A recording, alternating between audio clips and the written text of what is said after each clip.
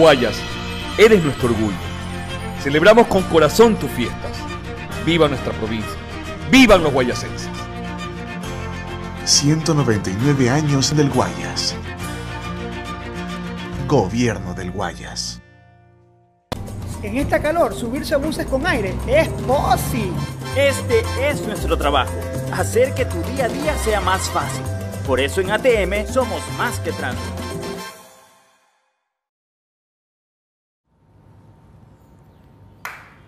Muy buenos días, ¿cómo están? Bienvenidos, yo soy Anderson Boscan, esta vez desde el Gran Guayas, la perla del Pacífico, la ciudad de Guayaquil, la ciudad en la que no nací, pero hubiera querido haber nacido. Bienvenidos todos, hoy es martes 12 de noviembre, día de preestreno del Diario de la Pamela, la producción de teatro que La Posta y Rompecabezas ponen a disposición del gran público aquí en la ciudad de Guayaquil. Estamos listos para el reventón de esta noche.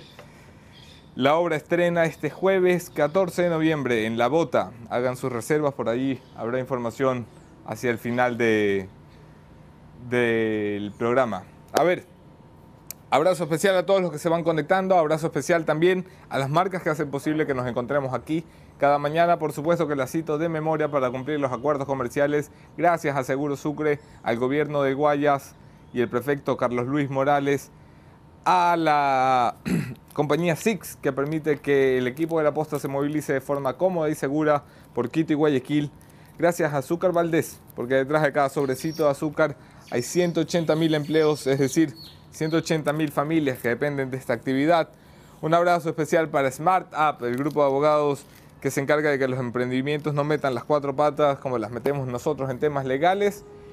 Y creo que estamos cumplidos. Agradecimiento especial para el escalón, que es mi casa en Guayaquil.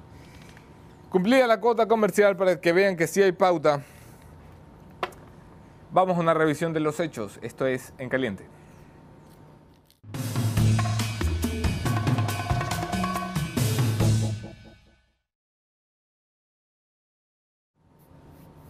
En Caliente, ayer algunas cosas sucedían en la Corte Nacional de Justicia, justo frente a donde hacemos nuestro programa en la ciudad capital. Y estas cosas tienen que ver especialmente con arroz verde o el caso Sobornos 2012-2016, como lo denominó la Fiscalía convenientemente. La jueza del caso Daniela Camacho en la Corte Nacional de Justicia ha dado por válido todo lo presentado y actuado por las partes procesales, especialmente por la Fiscalía General del Estado, y ha dado paso a lo que se denomina la presentación de pruebas. Eh, en esta etapa procesal eh, entrará una audiencia larga, larga, larga y extenuante, que quién sabe cuándo termine, pero se apunta a que la Fiscalía eh, ha puesto sobre la mesa la acusación por cohecho contra Rafael Correa y otros 21 procesados. Este es un giro importante, es una definición importante que hace la Fiscalía, porque es un delito que puede ser juzgado en ausencia, juzgado y sentenciado en ausencia. Nunca más un proceso interrumpido porque don Rafa está escondido en su ático. Mientras esto ocurría en la Corte Nacional de Justicia, un poco más allá en la Asamblea Nacional, otros correístas llegaban, esta vez esposados, como deberían ser la mayoría. Paola Pavón, Virgilio Hernández y eh, llegaron a, a la comisión que investiga lo sucedido durante el paro nacional Gritaron libertad, libertad, libertad y se sentaron a explicar su caso. Paola Pavón asegura que ella está presa por haber tuiteado. Que, que alguien le diga un poco que así sabía el correísmo, que es que metía presa a la gente por haber tuiteado. Pero eso no es lo único que la Fiscalía ha presentado. La Fiscalía asegura tener indicios contra la señora Pavón que tienen relación con su lista de llamadas durante los días del paro con conversaciones y escuchas judicializadas por la Fiscalía a través de una orden del correspondiente juez de la causa y es un proceso que se plantea largo y complejo en el que la señora Paola Pavón pretende presentarse como perseguida política. Mientras todo esto sucede un poquito más abajo, esto en el cuarto piso de la Asamblea Nacional, un poquito más abajo, se discute entre los pasillos de la Asamblea Nacional qué va a pasar con la reforma quienes están luchando por el archivo muy fuertemente, los del socialcristianismo, aseguran que están a pocos votos, entre 7 y 9, de lograr archivar la ley de reforma económica del presidente de la República. Si esto sucede, solamente para que se hagan una idea, porque esa es una ley con la que el país espera cumplir sus compromisos con el Fondo Monetario Internacional, significa que tenemos un presidente que no es capaz de pasar un decreto ni de pasar una ley. Y un presidente que no puede pasar decretos ni leyes, pues simplemente no gobierna. Tendrá cargo, pero no gobierno. De esto y más hablamos esta mañana. Mi invitado esta mañana es un buen amigo de la casa. Por primera vez en el programa, el abogado Clemente Pérez, doctor en jurisprudencia. Ha tenido sus incursiones políticas y hoy estaremos aquí conversando de esta locura de país que tenemos. Quédense en la entrevista.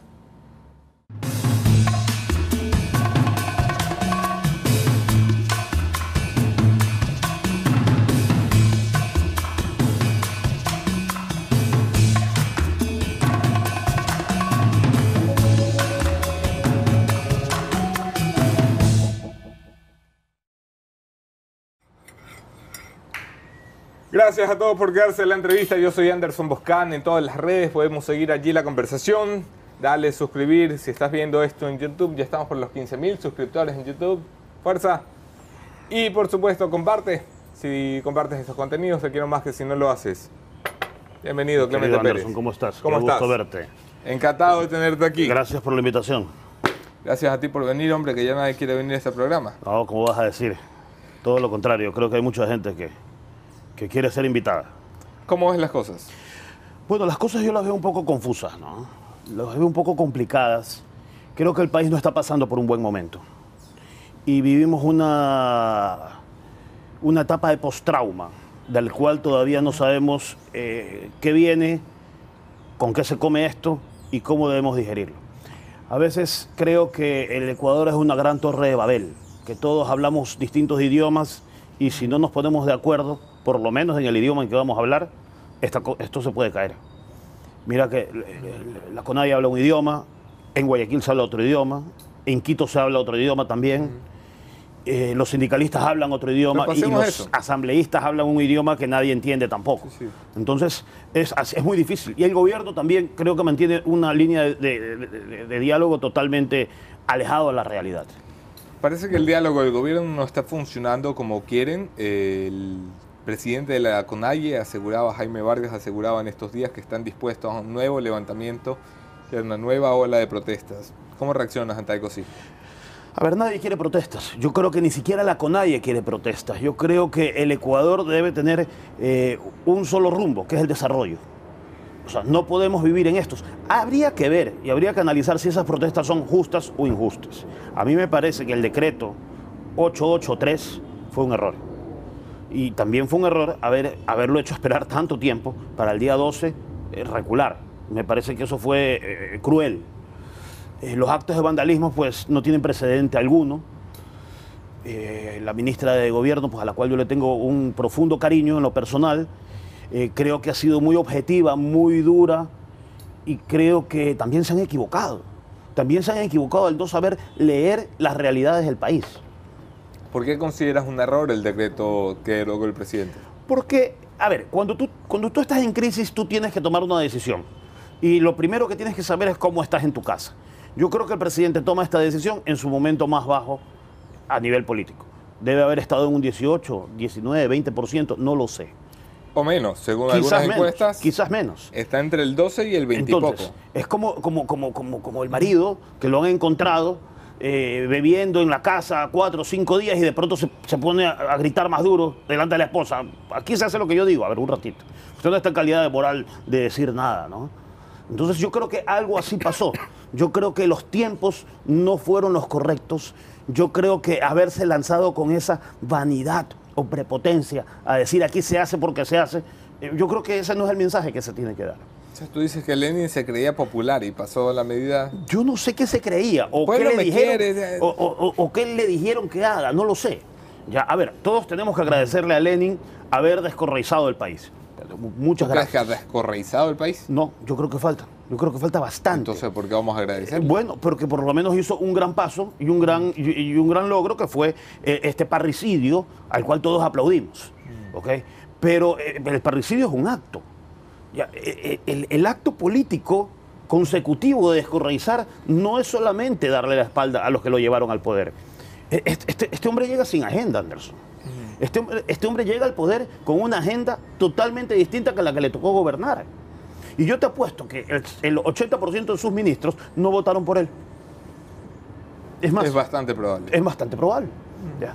¿Eso habla bien de Lenín Moreno? Sí en cuanto a que es una persona que supo llevar los tiempos, supo manejar un pragmatismo, muy bien. Pero cuidado, o sea, tenemos que tener en cuenta que el correísmo todavía está en el gobierno. O sea, los bandos medios total, todos son correístas en este momento. Tenemos apóstatas o, gente que, que- que- hasta un día antes de- de las elecciones eran correístas. Y se enteraron que eran anticorreístas el día en que Lenín Moreno decidió romper con su presidente.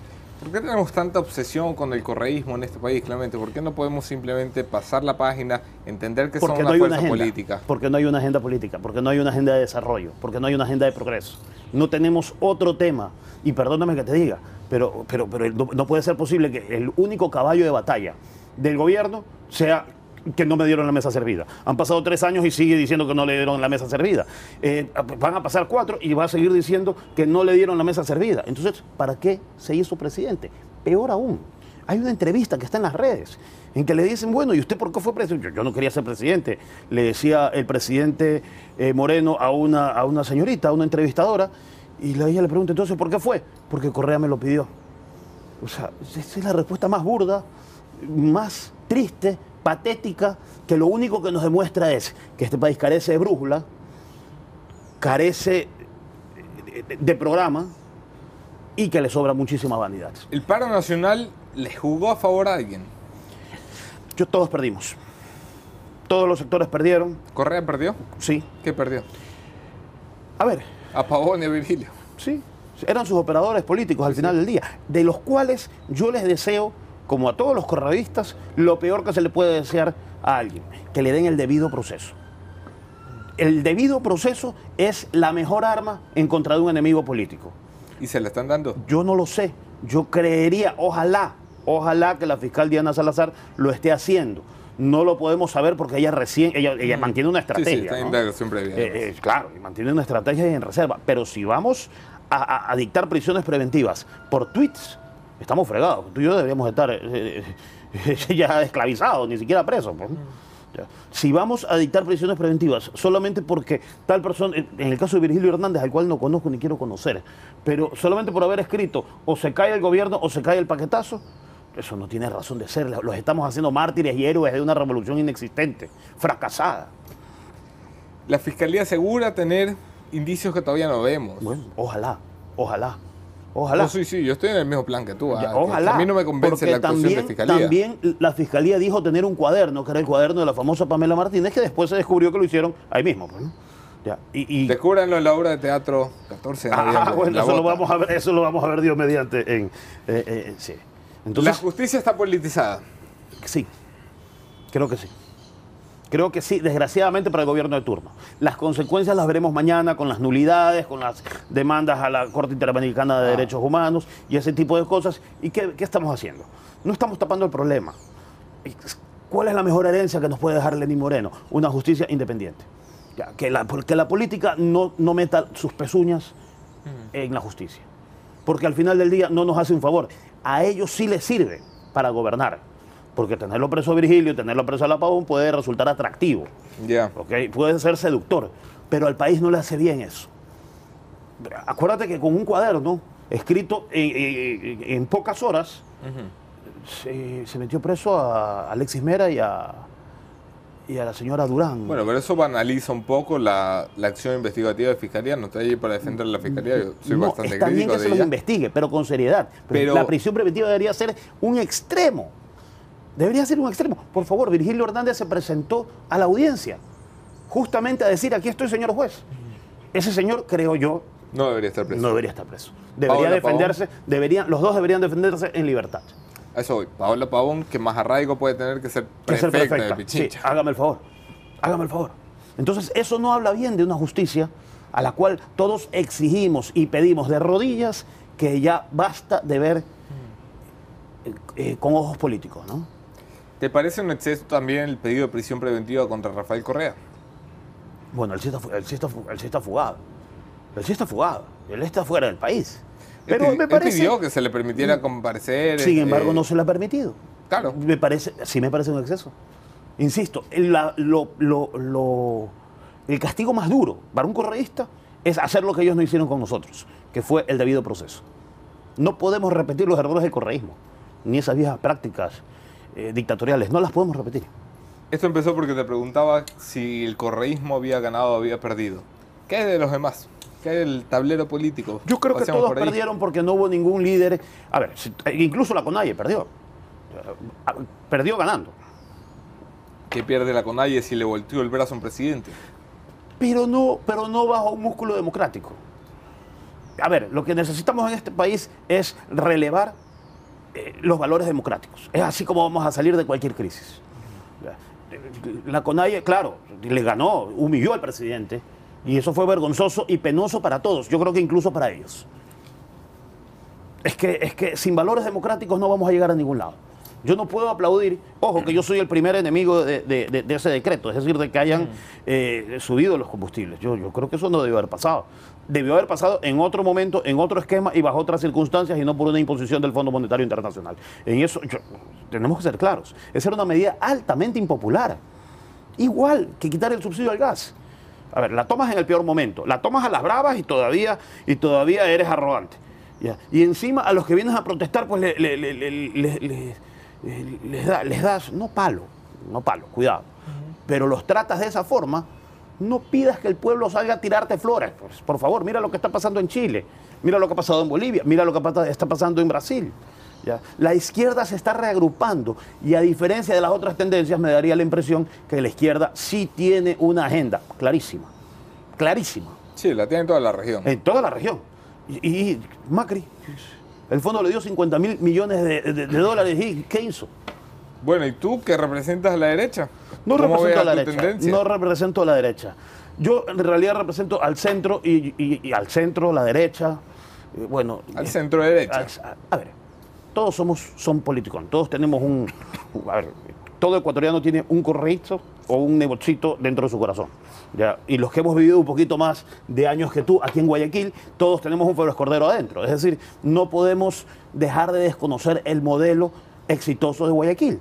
Exitoso entre comillas. Exitoso porque ha, sido, ha dado resultados. Sin embargo, ese modelo no ha resuelto el problema de la extrema pobreza en- en- en- en la ciudad. Sin embargo, ha hecho muchísimo, ha hecho mucho más que cualquier gobierno de izquierda, creo yo. Pero es que al final del día... ¿Por qué si ha hecho más? ¿Por qué si tiene un modelo exitoso? ¿Por qué si durante tantos años ha habido una administración probada, no les dan el salto para ir a Carondelet? Bueno, ese es el Ecuador. Estamos hablando de los dos idiomas distintos. Estamos hablando... A ver, número uno. eh, ¿Este modelo tiene que replicarse en el resto del país? No lo sé. Sería muy vanidoso decir lo de Guayaquil funciona y podemos replicarlo en otros lados. No lo sé. Es que, es que una cosa es sentarte en la alcaldía, otra cosa es sentarte en Carondelet. O sea, en Carondelet, eh, eso ya parece la silla eléctrica. O sea, que se sienta, se- se- de, de terror te electrocutes. ¿ya? ¿Ya? Entonces, eh, eh, la, la municipalidad es más noble. La labor del municipio es hacer obras, obras, obras, obras, obras, obras. Y en eso creo que los municipios de Guayaquil, en los 10, 15, 20 últimos años, lo ha hecho y lo ha hecho bien, lo ha hecho con eficiencia. Lo ha hecho respetando el sector privado, lo ha hecho respetando normas que antes no se respetaban. Entonces, eh, a lo que vamos. ¿Qué va a pasar con el centro? ¿Qué va a pasar con la derecha? Yo creo que si no tenemos una agenda clara y no conversamos entre nosotros mismos, no conversamos no solamente con los del centro y la derecha, también con los de la izquierda, también con los de la CONAIE. Por favor, todos somos ecuatorianos, ¿ah? todos somos ciudadanos ecuatorianos. Los indígenas son ecuatorianos. ¿Tú que- que- que vienen que viven en otro país, otra nación, otra república? No, señor. ¿Tienen necesidades distintas a nosotros? Sí, pero tienen que ser escuchados. O sea, tenemos que... Yo siempre he estado en concertación, que la concertación de César Sí, Montúfar, sí, de César que- Montúfar. Que, me ha parecido a mí una línea moderada y, y- y- y- y bastante sólida, y, partimos de la base de que tenemos que sentarnos a conversar. Pero tenemos que sentarnos a conversar sin sesgo. O sea, no hay ciudadanos de segunda ni de tercera. Hay ciudadanos. Sigue sin ser una fuerza política, me refiero electoral, con suficiente fuerza para plantearle al país una alternativa, la que representa la concertación de Montúfar. ¿Ves alguna fuerza política que tenga capacidad de presentarnos una alternativa en estos Yo creo en las nuevas generaciones. Yo creo definitivamente que este modelo, a ver, o cambiamos el modelo o, o cambiamos a- o cambiamos la mesa de ajedrez o cambiamos a los jugadores. Pero creo yo que el Ecuador ya debería estar pensando y apostando a nuevas generaciones. En todo, ¿no? en todo. Yo no te voy a decir que puedo discriminar a alguien por tener eh, 60 años, 50 o 70, no lo sé. Ya. Pero yo sí te puedo decir que ellos no están hablando el idioma del resto del país. ¿A quién te refieres? ¿Le pones nombre? Pues le pongo el nombre de Guillermo Lazo, que yo creo que, que- que- que- que él habla un idioma totalmente distinto, más allá del respeto en lo personal que yo le tengo, más allá del respeto y del aprecio que yo le tengo y agradecimiento como guayaquileño que yo le tengo a Jaime Nebot, yo creo que, yo creo que, eh, ya un ratito, esto tiene que respirar. Pero fíjese, fíjate tú, te estoy tuteando, fíjate tú, la segunda camada de social cristianos es excelente. Es excelente. Mira a Domenica Tabaqui. Una, una chica joven. Solo por darte un ejemplo. La misma Cintia Viteri, el mismo Henry Bucalón, la misma Cristina Sí, Reyes. sí, el nuevo social cristianismo. Eh, pero yo creo que ellos están haciendo bien. Yo creo que ellos sí supieron leer, eh, eh, o el alcalde, o el líder social cristiano, yo creo que ellos sí supieron leer lo que estaba pasando. Ya, ya, pero ese partido gira alrededor de Jaime Nebot, ¿no? Ese es el problema de ellos. Ellos están en su derecho de girar eh, alrededor de ellos. Sí, ok. El resto, el resto de gente tiene que hacer lo mismo. Escenario para un outsider, Clemente. Yo creo que lo hay. Yo creo que es necesario. Pero cuidado y viene el outsider de Correa. Pues, ¿no? O sea, outsider puede ser de izquierda, outsider. derecha, centro, Outsider es de que si seguimos en esto, si no damos espacio a, nuevas, a nuevos cuadros, va a venir un outsider. Va a venir otro Mesías o va a venir alguien que nos diga lo que, lo que queremos escuchar. Y al final del día el Ecuador vota como vota. Y es respetable. Votamos con el trasero, dices. Pues votamos como sea, pero es nuestro voto. Y tenemos derecho a votar con eso. ¿eh? Cuidado. Lo que no tenemos derecho es a, a- que nos destrocen el país. O sea, creo que debe haber, eh, generacionalmente debe haber eh, un recurso importante, cuadros importantes. Por favor, pasó en el periodismo y les pasó a ustedes.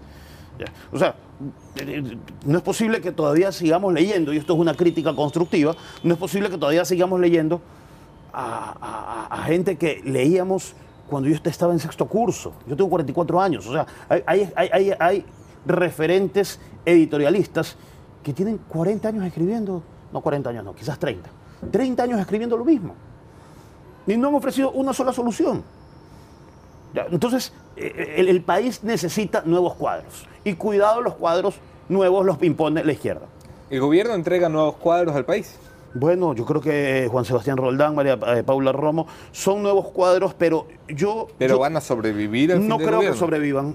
Te soy honesto. ¿No? Ojalá sobrevivan.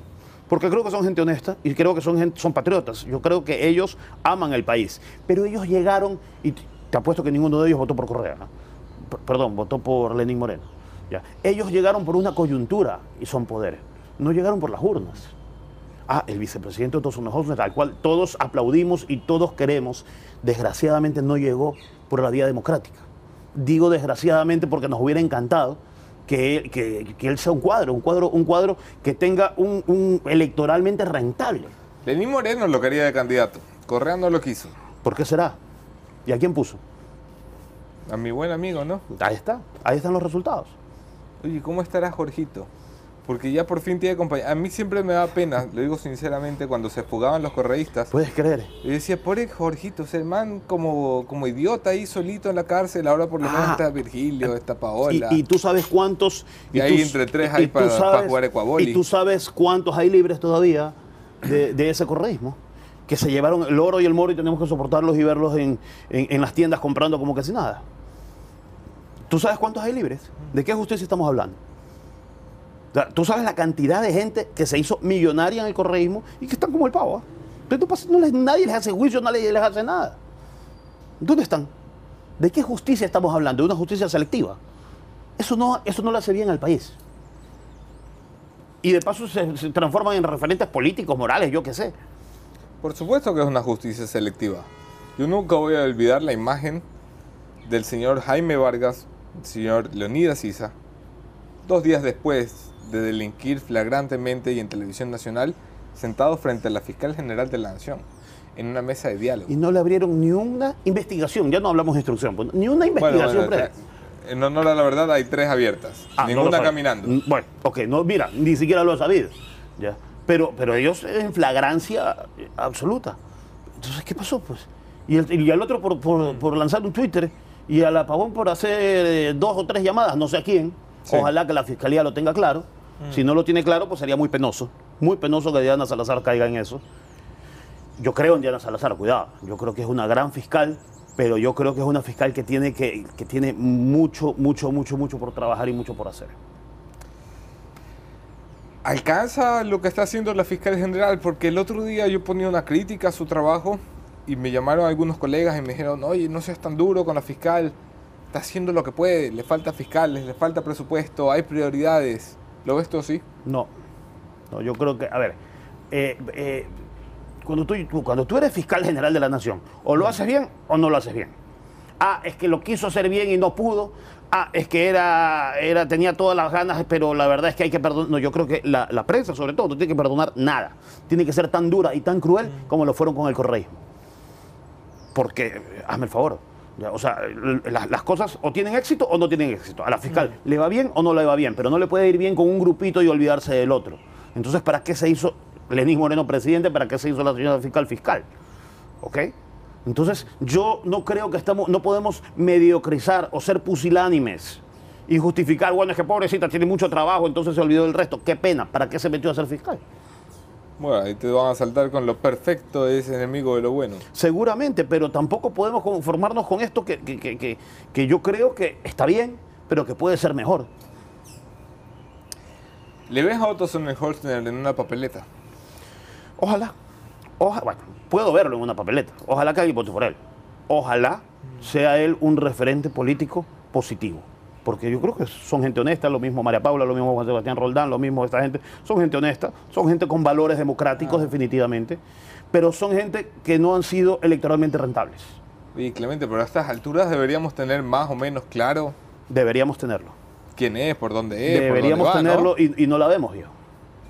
No la vemos. Y Y, claro, y el correísmo está atrás. pues, ¿no? El correísmo sí la tiene clara. Pero es que hemos pasado dos años dándonos abrazos y gobernando en vez de decretos ejecutivos con abrazos. Ya. Eh, pero no ha habido producción. ¿Cómo? ¿Y, y el, sector agricultura? ¿El sector agrícola? Te da pena, pues, Anderson. Y lo de la CONAI, ah, es que ellos son golpistas. No, señores, ellos no son golpistas. Ellos también están perjudicados por la crisis. Vivimos una crisis también sin precedente alguno. pero tú no crees que hubo un intento de golpe de Estado. Yo creo que para la existencia de un golpe de Estado tiene que haber alguien que quiera darlo.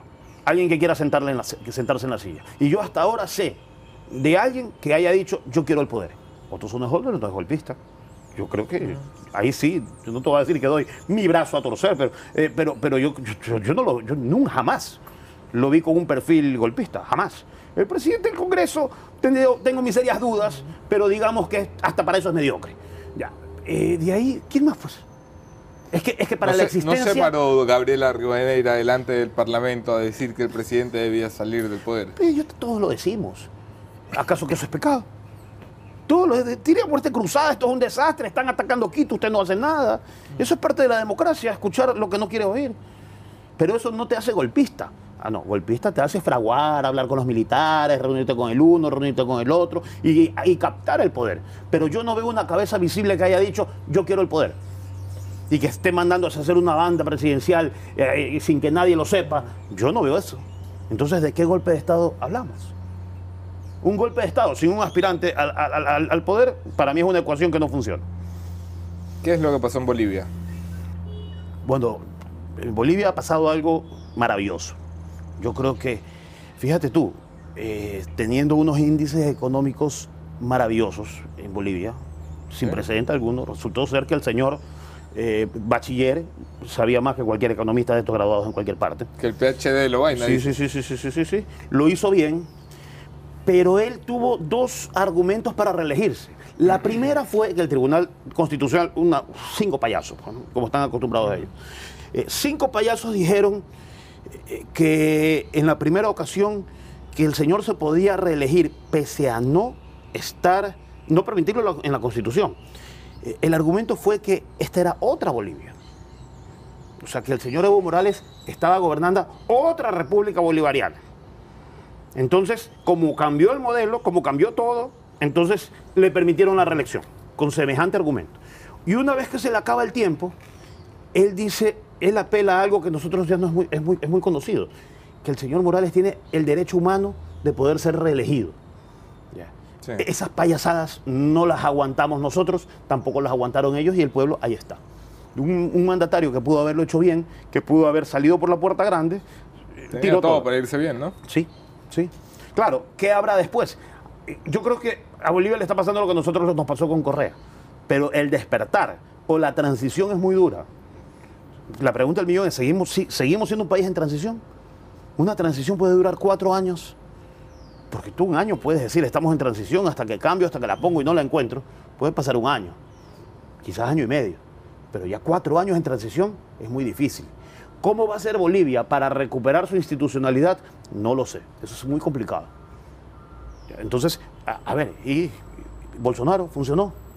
¿El señor Macri funcionó? Entonces tenemos una izquierda que ha estado esperando a ver si la derecha soluciona los problemas de la izquierda y la derecha no lo ha solucionado, esa es la verdad.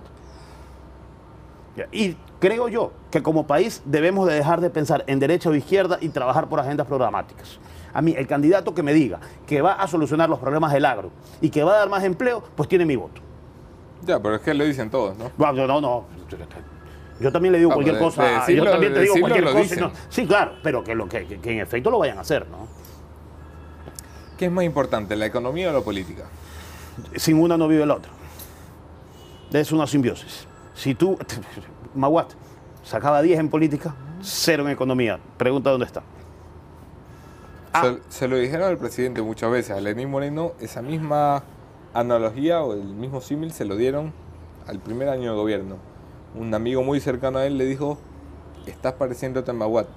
No se trata de arreglar primero la política y después la economía porque no hay tiempo después. El uno era, así es, el uno era cuántico y el otro era de los espíritus, eh, los siete espíritus, las leyes espirituales. Es un discurso espectacular que dio Maguat. Sí. Es que Maguat era la respuesta que todos esperábamos a una crisis sin precedentes. Que es muy gracioso porque tengo compañeros periodistas veteranos que me dicen que el, el día que llegó Maguat a los periódicos a presentarse, llegó a compararse con el capitán, el capitán del Titanic. Sí, claro. Entonces decía, el Ecuador es un Titanic. Y alguien le levanta la mano y le dice, eh, disculpe candidato, sí sabe cómo terminó el Titanic, ¿no? Claro, claro. Y, y él lo sabía. Sí, sí. Pero, a ver, pero volvemos a lo mismo. ¿Qué es lo más importante, la economía o el político? El político que no responda eh, o que no dé una solución económica, pues que se dedique a otra cosa. Es que si no tienes una solución económica, ¿para qué vas a Carondelet? ¿Por vanidad? ¿Porque te lo pidió Rafael? ¿O porque, no sé, me tocó? Y a mí en eso me parece muy responsable Jaime Nebot, cuando ha dicho, yo no encuentro las condiciones en las cuales yo pueda hacer del país lo que yo quiero. A mí me parece muy bien. Que no nos haga perder el tiempo. Me parece fabuloso. Que por lo menos se- sea honesto intelectualmente a decir, es que un país así yo no puedo hacer mi proyecto, lo que yo quiero de este país, como está, no lo puedo hacer. Entonces yo no cojo el carro. Me parece muy bien. Lo que no me parece correcto es que, es que eh, no aupe nuevas generaciones, que si bien es cierto las tiene, yo creo que pueden dar muchísimo más. ¿Qué hay de la Asamblea Nacional? La Asamblea Nacional es clave en estos días. De hecho, esta semana hasta el viernes la Asamblea tiene que reunirse, levantar las manitos y hacerle saber a este país si el presidente todavía es capaz de pasar una ley, un proyecto de ley económica urgente. ¿Qué hay de la Asamblea? Pues yo creo que salvo sus horrorísimas excepciones, que sí las hay, porque hay buenos asambleístas. Yo tengo que decirte que hay buenos asambleístas como Henry Cucalón, al cual yo aprecio en lo personal, como Marcela Aguinaga, que yo, lo- yo, yo puedo discrepar muchísimo con ella, pero yo creo que es una asambleísta que, que- Gran que- que- legisladora. es una gran legisladora, correcto. Sí, sí, y en debate es de lo mejor que tiene Es de lo el mejor que tenemos, por supuesto. Y mira, y mira de qué generación son, ¿ah? Cuidado, o sea, ahí está el futuro. Sin embargo, yo creo que eh, la, la- la- es- este, este- esta fanesca llamada Litardo no va ni para atrás ni para adelante. ¿Por qué Fanesca? Porque ahí tú tienes un conjunto de intereses y de cosas, ya no sabes si con el que estás hablando es correísta o no es correísta, y si es que tú no votas por el gobierno, lo primero que tienes es que tú eres, anti- tú eres correísta. Ya. O sea, tienen un discurso encima de que si tú dices, no, a mí esta ley me parece que, que tiene 400 artículos y modifica tantas leyes y que usted me la mande así rapidito me parece irresponsable. Ah, es que tú eres correísta. Eso me parece muy burdo. Hablaba ayer con Daniel Mendoza, que es el oficialista que está tratando de defender el proyecto del presidente. Sí. Se la está jugando Daniel Mendoza y está queriendo que pase un proyecto que no pase por el Ministerio de la Ley, sino por el trabajo legislativo. Y él tiene un punto. Dice, Yo le he dicho a los que son críticos de la ley, al socialcristianismo, al correísmo, presentan la forma de mejorarla. Yo tampoco lo presento. Su única opción es archívese. ¿Te parece Sí. que esa es la vía? No es la vía. No es la vía. Sí, sí necesitamos que, la, esa, que esa asamblea ocio- ociosa nos dé alguna solución. Pero es que si los políticos no dan las soluciones ah, o alternativas, ¿en qué estamos? Ento- Entonces, volvemos a la Torre de Babel. Esto es una cosa de loco. O sea, yo soy el llamado a arreglar las cosas. Las arreglo y las arreglo mal. Y de paso voy a la asamblea, que es donde deberían nacer las ideas, el discurso, los consensos. No dan ideas, sino que simplemente te vetan. Pero esto, pero esto es una- esto es una cosa totalmente... Esto es absurdistán, ya no es Ecuador. ¿Qué va a pasar el viernes si finalmente se archiva la ley? ¿Cómo yo queda el creo, presidente? yo creo que el presidente eh, será un presidente del cual no va a gobernar. Ya no está gobernando mucho, ah, cuidado. Mm. Ya, o sea, tampoco es que lo vamos a extrañar. Pero yo creo que será una figura decorativa eh, que repartirá abrazos, tratará de hacer mejores esfuerzos. Me llama la atención y me sorprende gratamente la lealtad de sus funcionarios cercanos, la lealtad de otros senadores, la, la lealtad del mismo Juan Sebastián Roldán, la lealtad de María Paula Romo y otros más. Me llama mucho la atención positivamente. ¿ah? eh, son gente que no, no están ahí para robar. Yo creo que están haciendo las cosas para que su visión de país salga. Pero ese proyecto no ganó las elecciones, cuidado. O sea, este, este es un gobierno de transición. Es- cuidado. ¿De transición de qué a qué? Del, del, del correísmo a una verdadera ¿A qué? democracia. Esperamos que sea una verdadera democracia, Anderson. Es que lo que vivimos fue 10 años complicados, muy complicados. Y tú lo sabes más que nadie por el los temas de libertad de expresión. Y tú lo sabes más que nadie por la judi- judicialización de la justicia. Y ahora estamos haciendo exactamente lo mismo. ¿Qué pasó? ¿Qué hay de los políticos que estaban muertos y han vuelto a revivir? Te pongo ¿Cómo cuáles? caso puntual, Alberto Dajic. A ver, yo creo, yo no sé si él, él, él- él nació político, morirá político. Sí. Ok. Y yo creo que él está haciendo lo que debe hacer. Dar su contingente y decir, esto es lo que yo creo. O esta es la vía que hay que hacerla. Ah, si tú te quieres tomar esa pastilla o si te quieres tomar ese café, ya es problema tuyo. Yo creo que eh, es un hombre muy coherente, pero él es un poco de que tienes un granito aquí, córtenle el brazo y, desechemos. O sea, él- yo me da la impresión de que a veces exageran un poco. Y es que hay que aterrizar y ver el país en que vivimos. De lo contrario, estamos muy complicados.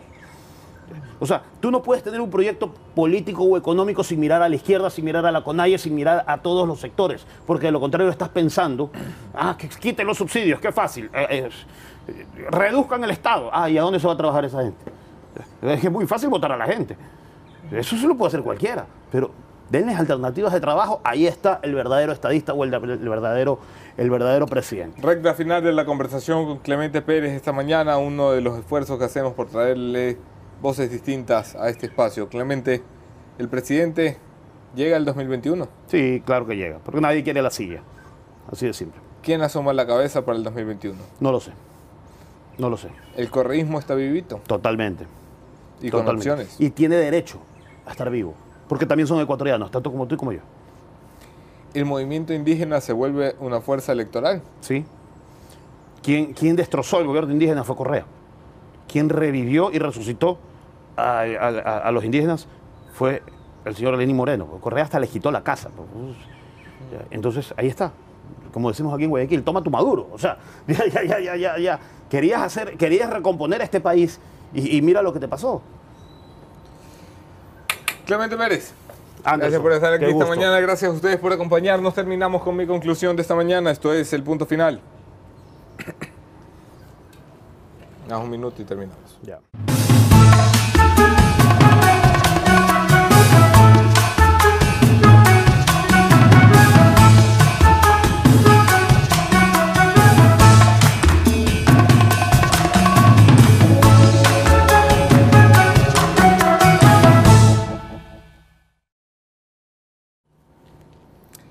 A prueba se pone el presidente de la República, Lenín Moreno, esta semana. A prueba se supone debería estar desde el día 1, pero ya sabemos que este es un gobierno que ha vivido del lo haré mañana. El presidente que creía que le bastaba con el giro político para mantener la vara alta de su popularidad, pues se ha encontrado con la realidad. La realidad es que la gente no vive de que hayas cambiado de, de línea política. La gente no vive de que Correa era peor. La gente no vive de que la mesa no estaba servida. La gente vive de que se gobierne. Y para gobernar hay que dejar las excusas a un lado y presentarle al país una propuesta. Esa propuesta no puede ser una propuesta tan banal como dialoguemos. ¿Dialoguemos qué? ¿Para llegar a qué? ¿Para hacer qué? ¿Cómo? ¿Cuándo? El gobierno ha sido incapaz de responder a este país en sus necesidades más urgentes y no hay nada más urgente que la crisis económica que el gobierno heredó, pero sobre todo que no supo solucionar a tiempo, aunque tuvo la oportunidad. Es de vital importancia que el gobierno le presente al país una alternativa, porque claro está que por sí solito no puede. Tiene que buscar aliados que lo ayuden a llegar a donde tiene que llegar. Si el proyecto que está pasando por la Asamblea Nacional fracasa, el que habrá fracasado es el presidente de la República, que será incapaz de prestarle a este país sus servicios pasando un decreto desde el Ejecutivo o pasando una ley desde el Legislativo. Y un presidente que no puede pasar un decreto o una ley es un presidente que tiene cargo pero no gobierno. Veamos. Aquí los espero mañana, otro tema, otro entrevistado, mismo entrevistador. Esta noche preestreno de El Diario de la Pamela, el 14 de noviembre en La Bota, el estreno. Los dejo con el tráiler de la obra, ahí se ven. De que llevamos el periodismo al teatro. ¿Por qué? Porque no se ha hecho antes. ¿Por qué? Porque a nadie se le ocurrió antes. ¿Por qué? Ni idea. Pero a nosotros sí, porque entendemos que el periodismo debe innovar. Porque el teatro ofrece infinitas oportunidades para llevar las historias de la vida real a las tablas. Porque no hay historias más importantes que las que suceden a diario. Y porque nos da la gana. Bacán. ¿Y cómo es la jugada? Este 14 de noviembre estrenamos El Diario de la PAME. Una obra que revisa todo el entramado que hay tras los aportes ilegales de las campañas de Alianza País. El caso Arroz Verde, pero desmenuzadito. Ponemos sobre este tema todas las miradas, enfoques y versiones posibles y así el público sacará sus propias conclusiones. Es como un gran reportaje, pero construido con arte. Nos preguntamos si solo son ellos los corruptos o lo somos todos. ¿Tú? ¿Eres un pillín? Tratamos de crear conciencia sobre este cáncer y así ojalá ayudar a que seamos cada día menos choros. Ojalá. La Posta se ha aliado con la productora Rompecabezas para elegir a los mejores actores y actrices posibles. Elaborar el guion más fiel a la realidad de los datos periodísticos, que incluye todas las versiones, todas. Y como todo en la posta, divertirnos un huevo en el proceso. Pilas Guayaquil, que arrancamos el 14 de noviembre en el Teatro La Bota, en el Malecón del Salado. No te lo pierdas. Ni cagar.